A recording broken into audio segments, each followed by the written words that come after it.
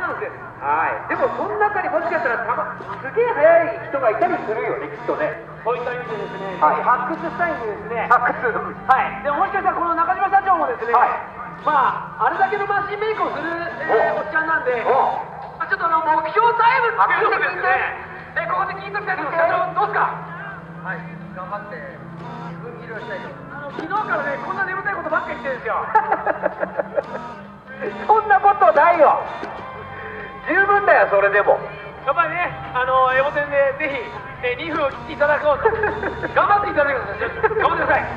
頑張りますえー、世界の中島社長でした。はいわかりましたありがとうございます今日はこのサムデイクラスもしくは関係者というところでの走行を行う予定になっておりまして11時45分から